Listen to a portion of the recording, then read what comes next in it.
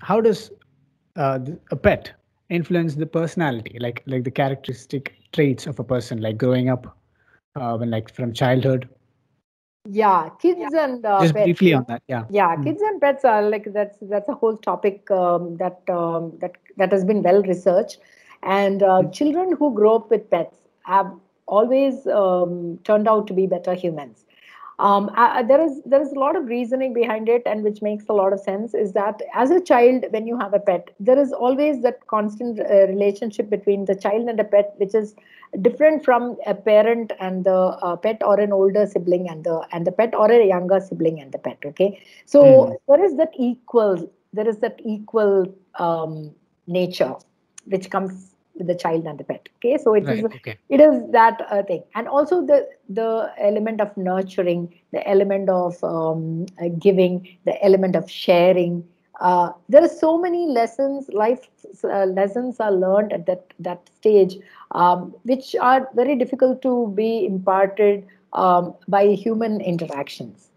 okay right. so when you say equal uh, like in terms of all of this like giving sharing yes yes yes like, so yeah. you have like you have ice cream like you know okay fine you you give some kind of and when you're sleeping you you you just have your pet sleeping there and you just like so i i think there is that whole level the uh, level of uh, emotional um, um, connection that a child gets with the pet's interaction uh, and also you know most most of the time the growth of a pet is more than the growth of i mean it, it's at a higher rate than the growth of a child so as mm. when uh, when say in the human uh, age when you look at so mostly right. when we talk about um, any any any companion animal pet whether it is a rabbit or a um, you know um, a cat or a dog or whatever they their uh, lifespan and their aging is at a different rate compared to the human human age um, aging right. okay so um, for example it is equal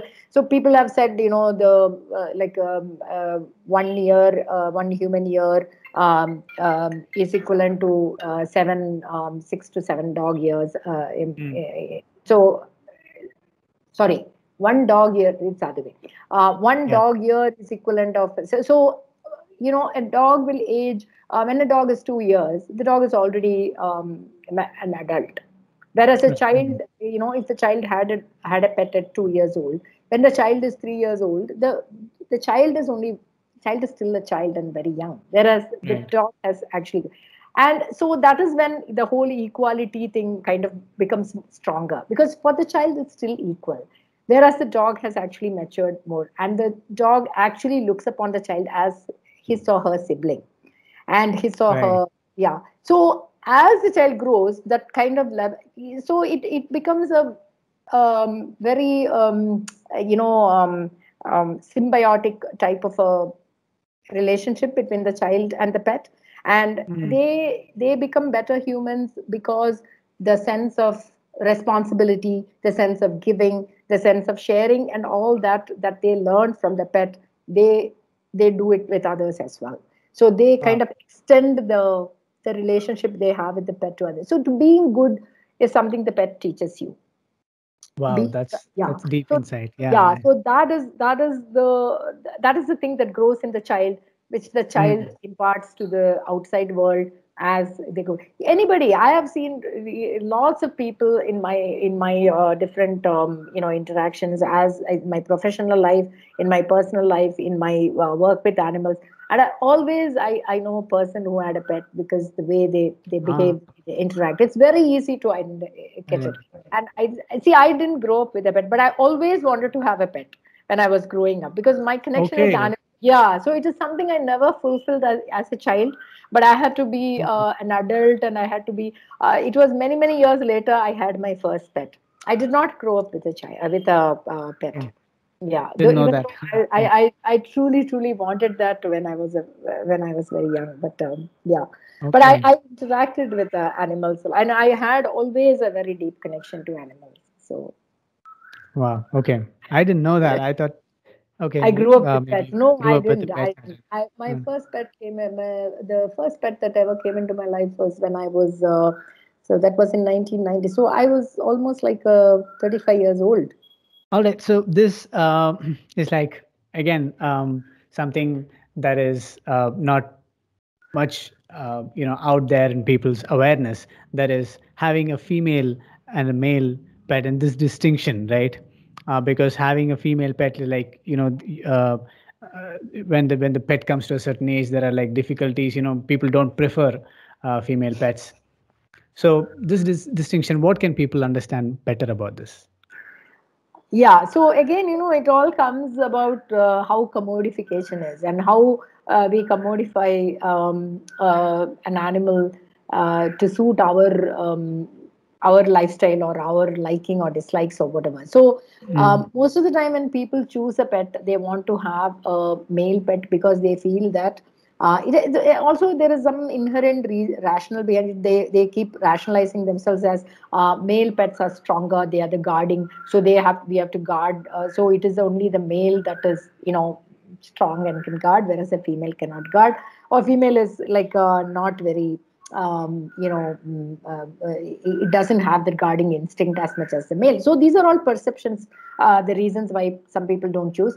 But many people don't choose because the female, you know, comes on heat. It can cause a lot of problems. So uh, why not, you know, we, let us not go into all that. Let's get a, get a male. Mm. Whereas the other side of the story is that there are also these commercial exploitation of pets by breeders who always want, want they always want a female pet because oh. that is where they get their money from so we see diametrically opposite type of interest in two sets of uh, people who are you know it is it is uh, furthering their aim or furthering their like or dislike or furthering their um, commercial needs uh, which is making that kind of choice mm. to choose a particular gender so this gender bias breed bias. Again uh, breed is another big bias that people have that you know the normal in, in indian dog which is a crossbred over multiple generations is not considered fashionable because it is just very common. It's there on the street. So something that is on the street is not you know it doesn't have value because it's mm. not it's on the street. So that is the perception which makes many people not to choose a you know indian country dog as a pet because they feel a fancy breed is uh, like it, it is a status symbol. It is a it, it is a distinction that they have. Because it's like you know which car are you have which car do you drive? which yeah so which movies. yeah so you see that movies eh, in in big bungalows there are particular breeds and that becomes like a fashion like you mentioned. Yes yes. In movie you see one dog which is sort of tied with the rib i mean like a uh, put uh, ribbons around the thing and has long hair. So then it becomes the fancy. And this vodafone i mean i must i must really oh. I, I really hated that that advertisement so much later on because of the abuse this particular pug this animal was bred you know insensibly.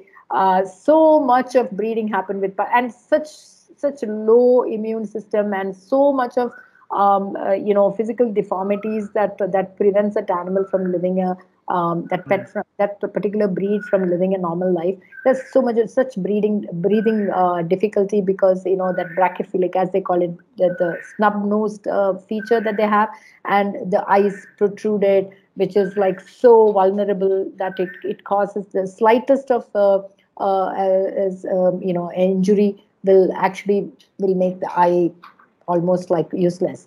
So it, it, it, it that that particular breed was such such a craze because of the uh, Vodafone advertisement, uh, you know, mm-hmm. follow me wherever, and and this pug following this guy. I mean, so this this this whole media and this this thing is it, it has such a bad influence on and, and on humans uh, because we can be we can be misled uh, by the media. We can be told so much of lies and see because we fail to think on our own terms. We we fail to rationalize ourselves. We are carried away by the media with all these fancy things. So the gender discrimination, breed discrimination, and uh, all of this came about because of that. And it's it's very sad that um, uh, however much we try to create the awareness, um, it's it's not enough because the media is so the, the the the images on the media are so powerful um, right. that uh, it, it, it is not only in the in the, in the uh, animal thing. It is about the things you buy in your home. It, I, am just giving an example. Simple thing like you know a cleaning a product that you buy in your home. You are so much influenced by the advertisement of some particular product. If you make an advertisement appealing to you you are very likely that you will buy that even if that product is inferior. So it is it's the same tactic that is being used by breeders by anybody who is exploiting uh, these animals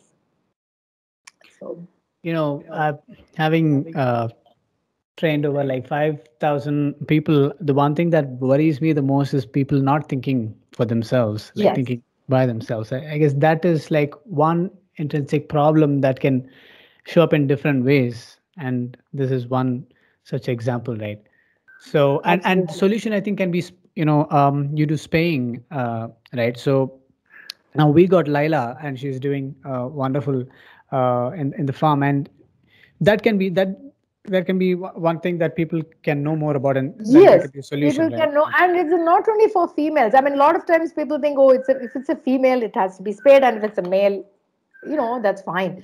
That's again you know that is again in, in your mind that that gender bias where you feel, feel um, the male need not be neutered. But the male goes through also a tremendous amount of frustration. Uh, when you know females in heat are in the neighborhood. They, they go through aggression. And whenever there is a you know um, uh, street dog nuisance complaint it is always about male dogs fighting.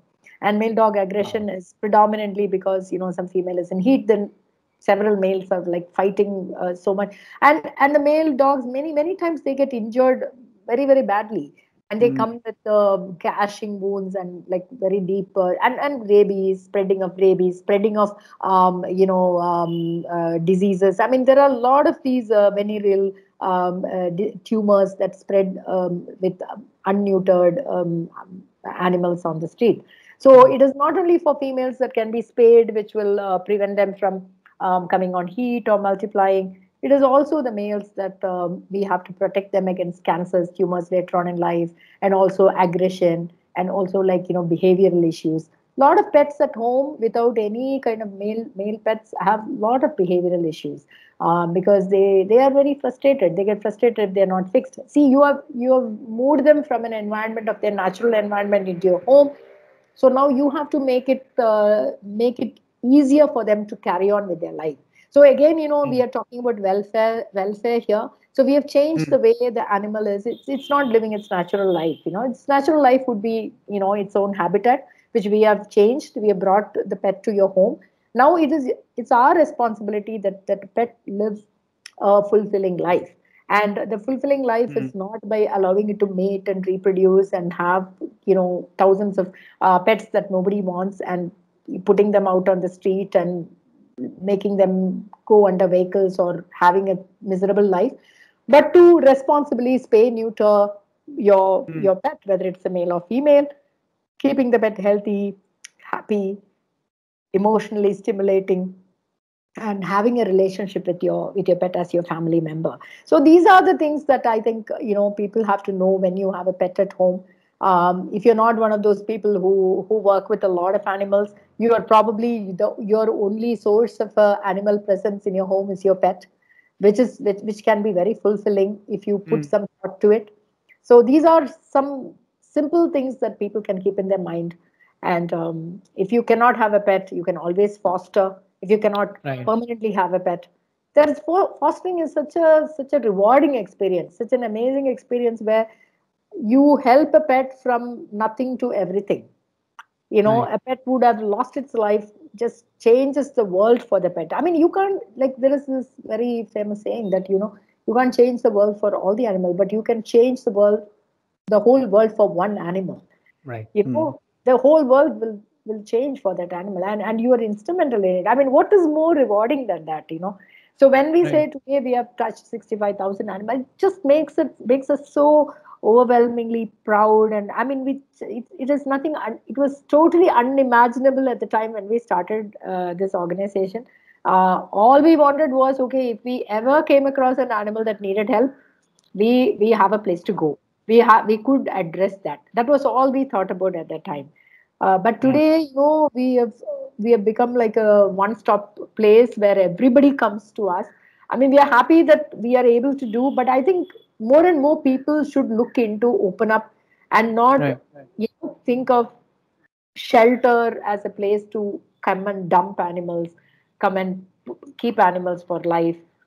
So people have to look into themselves and see what they can do rather than what you know shelters should do or shelters must do. I mean, everybody preaches. And why do you why do you uh, promote yourself as a shelter when you say you cannot take in this puppy? My dog, my my street dog littered. There are eight puppies. Now you take them. So why should we take them? Why are the people there not able to care for them so that we can help find homes for them? We can help vaccinate them. We can help them lead a better life by sterilizing them on time. them. Hmm. If we take them in, their their life is not going to be better because they are going to be exposed to so much of sick and uh, you know uh, injured animals in our shelter that in no time probably they're all going to die. Right. So this is the uh, awareness that as humane animal society i would i would want to create among uh, among the people of not just the city but anybody who's living anywhere in the world. Any any human who who is capable of you know able to offer this kind of support to a vulnerable animal. Okay so. So whoever is listening to this uh, this can be a good thing for you as well right? Um, can be a, a good relationship and some good um, thing that can happen to you as well. So it's just one question from what you just said. So when you said dogs uh, can be better off in their natural habitat, I just had this question: What what is their actual natural habitat? See, dogs, uh, time immemorial, have been scavengers. So how, if you go back to history, right? Um, the first animal that ever came to a human habitat is the dog it is not any domesticated animal. It is the dog that came into human. So dogs uh, ancestors are you know they are from wolf family right? Wolves. wolf. So the wolves are what i mean the dog is a is a species that you know their their ancestors are the wolves. So the they enjoyed human company and they felt it is the companionship that brought them together so there was they, they're scaven, natural scavengers. So they're not like predators. They, they don't go like they just eat what others have left behind. They uh, they, they you know the, the carcasses the, they, mm-hmm. they're not like they're not per se predators even though they can be predators but it's not like that's not their natural instinct. The natural instinct is, is scavenging uh, thing. And um, so they have been living like that in the wild like that. So these feral dogs and um, you know that that are there in this. So that is their natural habitat. So once right. humans uh, you know civilization set in humans started moving into cities that you know that is the whole relationship that evolved over time uh, that these animals became pets animals started being you know uh, living with the humans living in a different type of environment than what they were used to. And we started also influencing them uh, in their like uh, the type of food they were eating uh, so they were always scavengers. So uh, where they were eating uh, carcasses in the wild and the forest here we were giving leftovers. Uh, we were we were giving human leftover food. So that is where mm. they were that is what you know they they had for thriving. Um, so they thrived on you know leftover food. So then today the natural habitat of a dog is very difficult to define because it has it has right. moved above and beyond our imagination of what it was those days so mm. now i think the best thing uh, for these companion animals whether it is dogs or cats that are undomesticated animals which people raise them for some particular purpose dogs are not raised for okay for people might say you know that uh, you know having a pet at home is it what is this for some for, for different people is different reasons some people say i want to guard i want a guard dog and mm. uh, i want a, some people say no i want a pet some people say um, i want this uh, you know my parents are getting old i want a companion for my, my parents and i want a very calm dog that will uh, that will help my you know soothe them and just just be so different people have these different things and uh, you know how this animal has to kind of understand the mood to. I, I, I also know a, a, person just to um, add this. I know a person who uh, has a dog because uh, a male having a dog is is good because girls get attracted. Oh, he has a puppy, and this used to be very funny. Uh, you know, just one of the recent ad. and they can just you know uh, i have a puppy and that can create yeah. friendship among us yes yes yes um, so lots of people buy these very expensive breeds and put them in a kennel and all the all i see when i go to is this rottweiler sitting inside. These rottweilers are dogs that were bred for like you know they are like this extremely active and alert dogs that are and they put them in putting them in a kennel is really the worst ever thing that somebody can do. What is really the point in having a pet like that? And we have we have confis- i mean we have gone and rescued two two boxers that were that were and brother and sister both are not uh, neutered or spayed and they were kept inside a very small uh, bathroom like thing and they had bought them as as uh, you know puppies when they were very young siblings mm. brother and sister and not neutered and spayed and they're together so you know this is a lot of inbreeding happen and most right. of the breeders most of the breeders are guilty of inbreeding and um, it is just for commercial expert makes it very easy for them they, they breed with the you know the, the, mother and son father and daughter brother and sister so this this whole thing is such such a emotional trauma in terms of i mean the animal doesn't know because the animal comes on heat the animal mates it's it is gone. But you know it is the bad genes this inbreeding causes a lot of uh, genetic deformities and um, um, vulnerability in terms of you know resistance. Immunity is immunity goes very very low. I mean very poor immune response.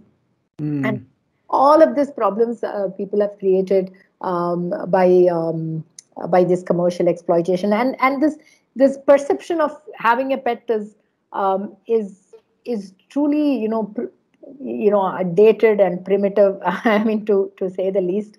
Um, we we just don't uh, we shouldn't be breeding at all. We shouldn't be breeding at all. I mean it is natural breeding. Whatever happens in a natural environment is okay. But you know breeding for commercial purposes or for your own fancy uh, you know oh i i want to have my dog litter. I want my dog to experience motherhood. I mean this is like the worst ever thing i've ever heard.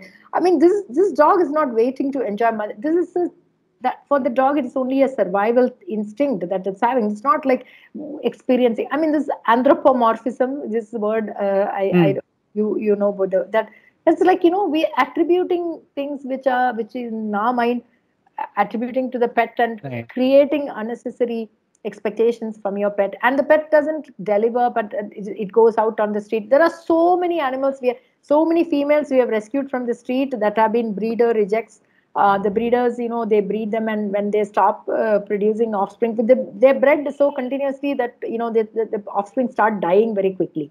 So they go through uh, this. There is there needs to be spacing. I mean, there is a lot of uh, laws about breeding. Um, uh, breeding laws are there. Not nothing is followed in this country.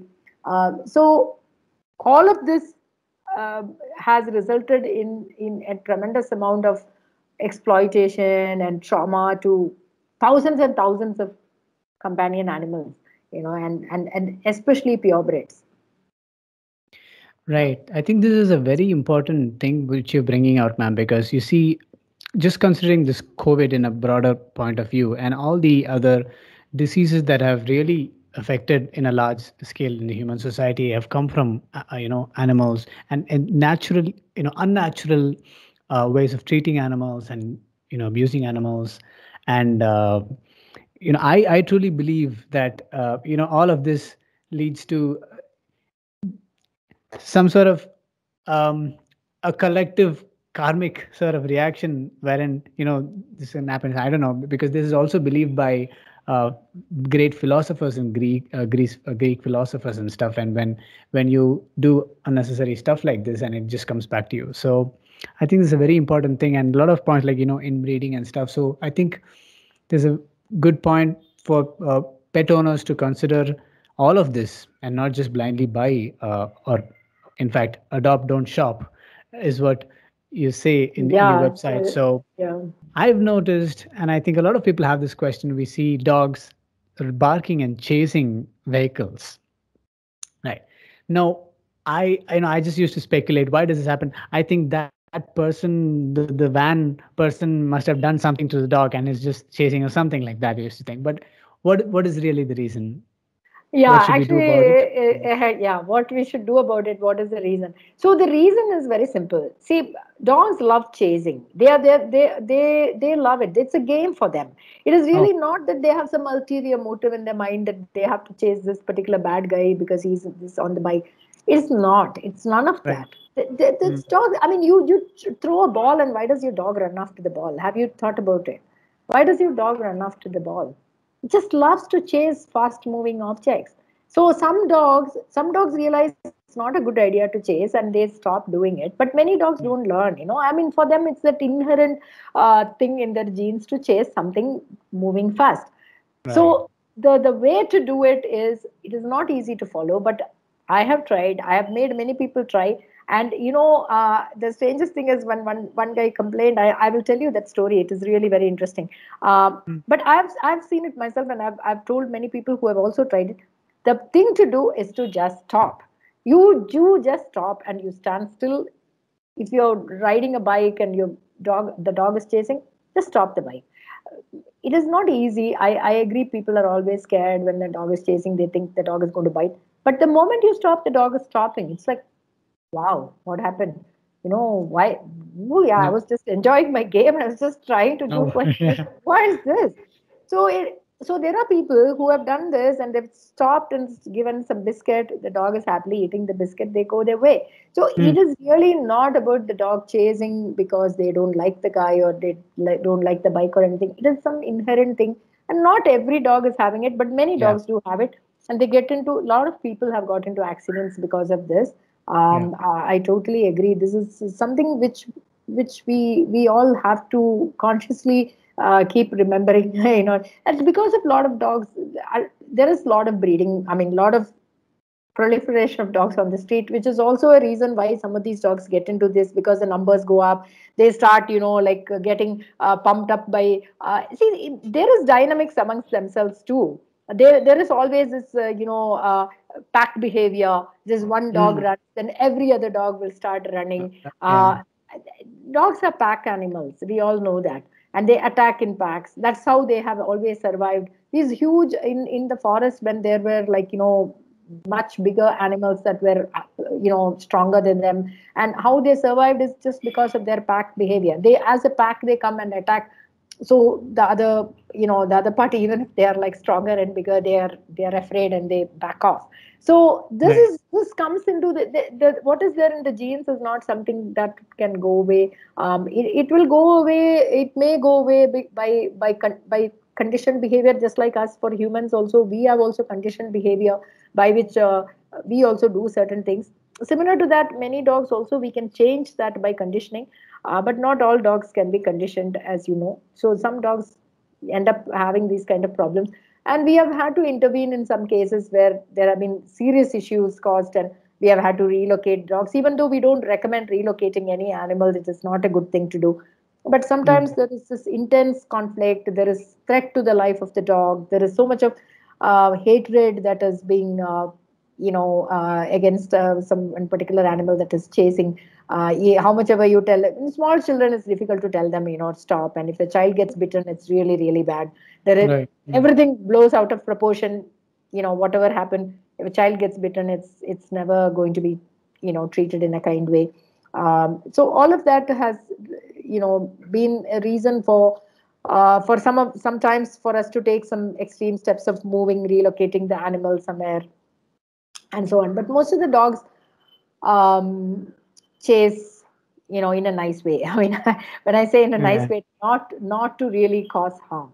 Harm right, right. okay. That's i think that's uh, the main point here right? Like because people have this thing that oh this mad dog is just chasing cyclists, oh yeah. cyclists, yeah, cyclists. Yeah. And yeah people have uh, you know fallen down and stuff but i guess this yeah. awareness of just how dog, dog doesn't really want to do harm you know? Yeah. Um, it's, really it's just it's just trying so. to have some fun it's just thinking it's having fun yeah right so the last oh. question is how do you um, see taking pets to work i guess this is not common in india but in the mm. west there are facilities when the workplaces pets are being taken and i also found uh, in, this interesting thing when i was just like browsing recently that uh, people's productivity at work is seen to be uh, seen to be good uh, mm. To not having pets, mm. bringing pets to the workplace. So, how do you see this happening in India? What do you think about this?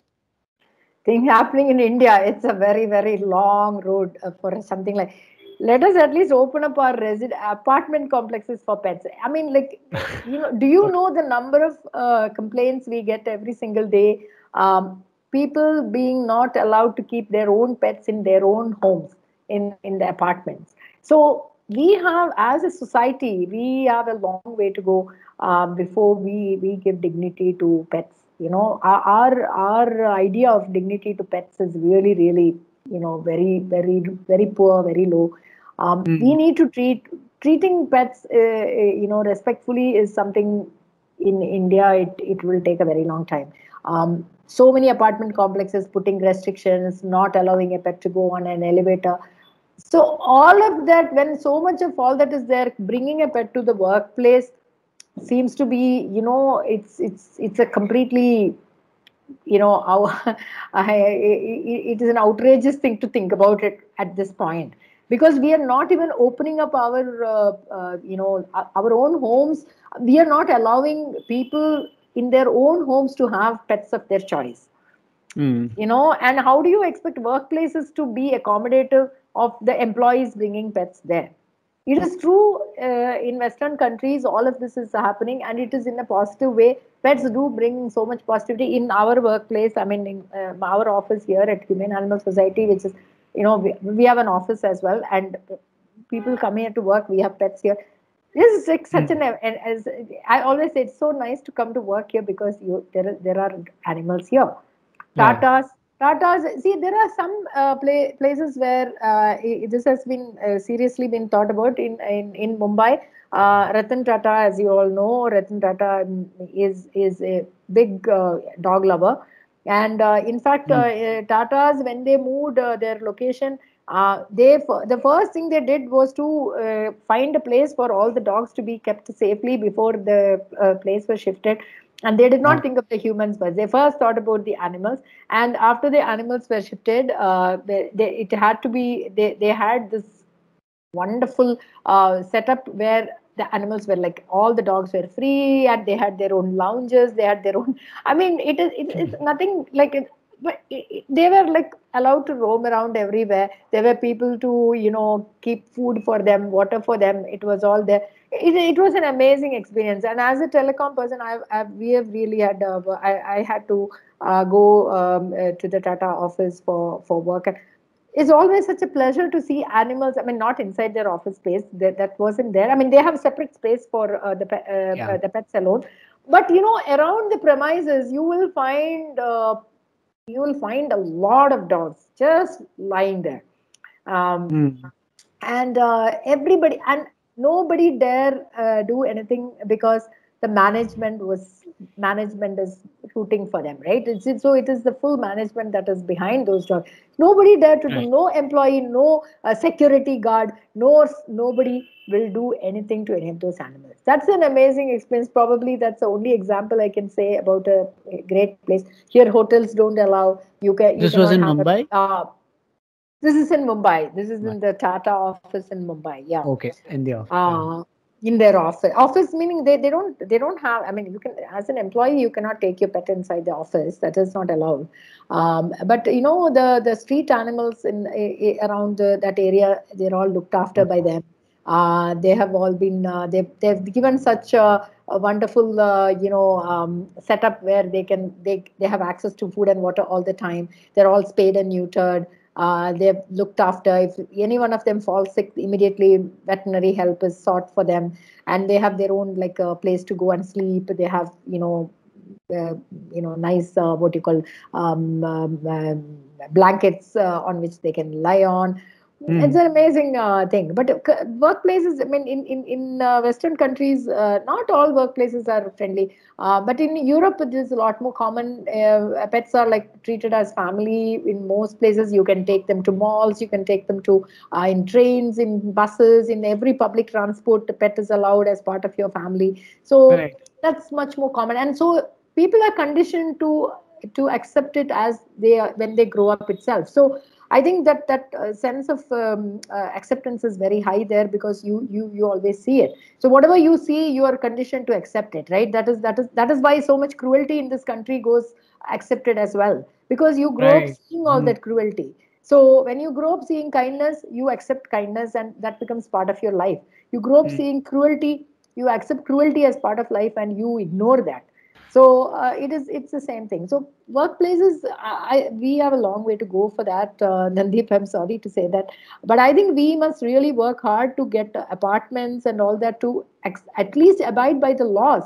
So the laws there is this very uh, clear law allowing anybody uh, to have a pet of their choice in their own home. It doesn't matter if it's an apartment it's your independent home it's in a it is in a gated community it doesn't matter what. But you mm. are you you have a right uh, to have a pet of your choice in your own home which is not being honored in in so many apartment com- we get complaints from so many people saying uh, you know we are being asked to um, uh, we've been asked to leave our pet, uh, um, you know, um, um, take our pet out, out of the complex because we, we are, this is a pet-free complex. So there is nothing called pet-free complex. It's illegal. It is illegal to, uh, you know, brand some complex as pet-free there's this pets is pet is your right. In, in your own home if you cannot have a pet of your choice what is the point in your having your home? So in if an apartment complex you are registered and if the apartment is having the resident welfare association putting a law like that it is your right to uh, stand up against it. So i always tell people just don't call animal right. welfare organizations. It's your right to have your pet. I will we will provide you the legal you know the law that states that take the law, go there, and if you are being harassed, go to the police station. That is where you have to go. So we, in terms of law enforcement, in terms of you know following the laws, when it comes to animals, it always takes a backseat. I think all of that needs to change before we open up our workplaces for animals. But I think it will be an amazing thing to have um, you know animals as part of your. At least let animals be uh, around uh, uh, you know workshops and many workshops nowadays are having I, I i see in coimbatore some of the workshops having pets around. I mean and the security guard um, taking care of them or the caretaker somebody saying oh it is our pet. Uh, we have we, we provide food and water and the pet uh, we have a space that we have created night the pet sleeps here and there are some workshops where they have called us for vaccinating their pets so we've gone there and vaccinated, and they say, "Oh, should we find homes?" I said, "No, this is their home. This is their place. You know, just make sure they are having a good life. Just let them be. Spay, neuter them. Give them vaccinate them. Give them food and water. Just let them live their life. They're happy here. Right. They don't want to be tied up in someone's home and treated as you know, like put a chain around them and thinking this is life. This is their life. So." I think yeah, I think we we, we really have to um, you know think on their terms and not on our terms you know so right. that is that that's the shift i think um, we need to we need to have in our in our own minds.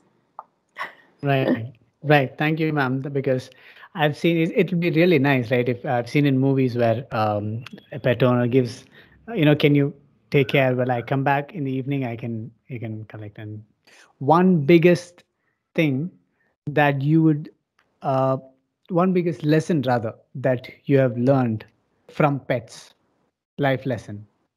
Okay. So i would say everything in my life one. i've learned from my pet. So the biggest lesson i have learned from my pet is to live the moment. You know to living the moment that is the biggest lesson i've learned see we live either in the past or we are anxious about our future. I, we just don't. I, I, think as humans, we have lost our ability to live the present, to enjoy the moment. Mm. I think that is the biggest lesson I've learned from, especially from my dogs. They enjoy the moment. They, they just right. just take it so. They just live that moment so beautifully. So I think if we could do that, I think we would be better. We would be better off. Yeah. awesome, awesome. I'm this. I I love this answer. Being in the present moment I can also relate. You know, um, they just be in the present moment. Also, like children, right? Like like kids, they're they're always uh, they're yeah. all in the present moment. Okay, yes. awesome. And the last one is what is the biggest challenge? I'm sure you would have gone through a lot of challenges and you've uh, touched so many lives. Uh, you know, besides all of that, what is one biggest challenge that you face in the organization?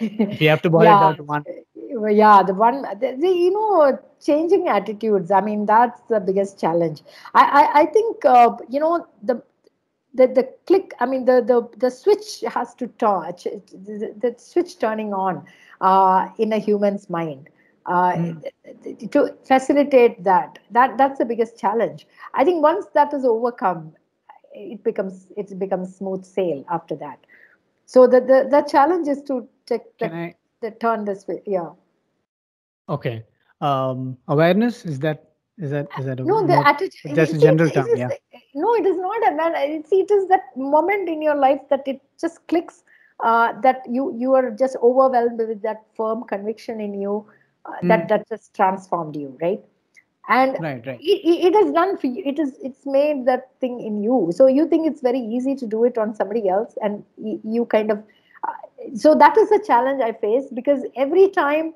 um, you you make somebody think on their own or you make themselves rationalize with themselves and mm.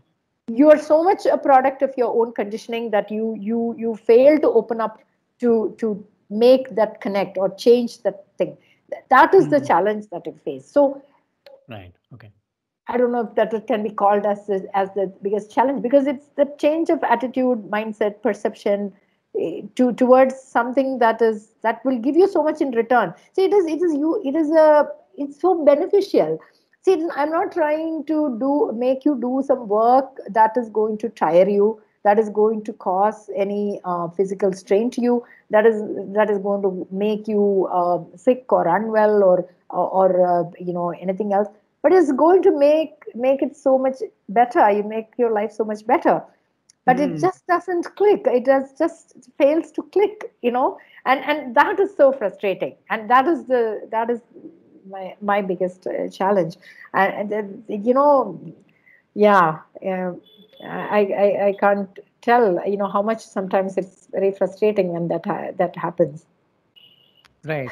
Okay. In fact that switch can uh, once it has been realized it's in fact rewarding. Um, yeah and, and you, if, we, you, if we look at it that way. Yes and your life is so much better right? Better. i mean your life changes for the better and you become a better person and you reap the rewards. I mean it's not it's not the i mean you reap the rewards and at the same time the society as a whole benefits right? So mm-hmm. a change that happens within an individual it's it it is like this, this candle that is like you know it's just giving out its light and it's it just spreads so so um, uh, powerfully and so profoundly that it starts to uh, kind of you know lighten up i mean light light up the, the the world around the surroundings. And it's slowly so it just makes you feel so good that you have changed for a better person. But then still people uh, still it's so difficult to get that across that mm. is, that is a very very deep challenge I face uh, when uh, uh you're not opening up and you, you're so closed in your mind that you you refuse to see it. Um, and that's very frustrating. Right. Thank you so much. And i hope that whatever uh, you know challenges like this you mentioned um, will be relieved and people get to know more awareness. Because in this video there has been a lot of beautiful takeaways, awareness, a lot of things to reflect on for pet owners and as well as people who um, are thinking about, uh, you know, making a difference. This can be a great thing. So thank you, ma'am. It's if been... I can, um, I would like to, you know, um, say a quote which, uh, which is, um, which has yeah. profoundly affected me and um, which really has been a very, uh, it has been a revelation um, that um, you know that has just enabled me to keep moving on because that mm-hmm. that has really been um, one of the very motivating uh, quote that I have ever seen uh, written by anybody. Uh, mm-hmm. So it is a it's by a American uh, naturalist um, whose name is uh, Henry Beston. So I'll just, uh, if you don't mind, I'll just read read that quote. Please, so yeah. it just says, "We patronize the animals for their incompleteness, um, for their tragic fate of having taken form so far below ourselves. And therein we err, and greatly err. For the animals shall not be measured by man. In a world older and more complete than ours, They are more finished and complete. Gifted with extensions of the senses we have lost or never attained. Living by voices we shall never hear. They are not brethren, they are not underlings, they are other nations, caught with ourselves in the net of life and time. So this has just been so wow. profound. I mean, uh, um, I, I don't know. I don't know how somebody could have thought so deeply about this. It is just amazing because it is. It is. It's just that you know earthquakes are. You know which which which uh, animal uh, discovers earthquakes first? Mm. Uh, oh, um, I'm just guessing. Is it birds? No, it's ant. Ant. Okay. Ants. Yes they are the right. ones who who, who okay. understand who who uh, for whom yeah they are the so all with our our great brains with so much of complex technology all the seismic motions vibrations and analysis and all of it. Our levels of predicting an earthquake is so poor compared to the ability for an ant to sense an earthquake you know so it, it, isn't it amazing? Isn't it amazing this it's, tiny it's amazing yeah and all animals are endowed with such a and one more thing i mean i would uh, I, I, at the risk of extending this uh, thought so I, I was just thinking see everything that humans have learned or humans have used and humans have uh, you know uh, enabled to happen in this world they've all been uh, imit- i mean like they've all been um, um, sourced right. from animals inspired from animals like how did we fly airplanes how did we mm. even hmm. think about planes right i mean it was all inspired by uh, music this is just so much music that we have created. I mean, there is so much technology. I mean, we we think it's such a confusion and I mean, these are these animals have done it done it so effortlessly, so so right. so sensibly. Early mornings, you hear so much of such melody. I mean, it's unbelievable, right? See, everything that humans have achieved, uh, we have been inspired from creatures around us. I mean, it, it doesn't have to be live animals. It is nature. It can be plants. It can be all of that. So much mathematics in the leaves. I mean, this whole fractal, the whole whole discipline of mathematics is, you know, this whole fractal theory. That is all from mm. the shapes and uh, of the leaves, the shapes that you see around you in nature. The shapes the are all very much math- honeycomb. So that structure which makes it stable. Uh, mm. You know, the what structures make it stable? How does a bird build its nest?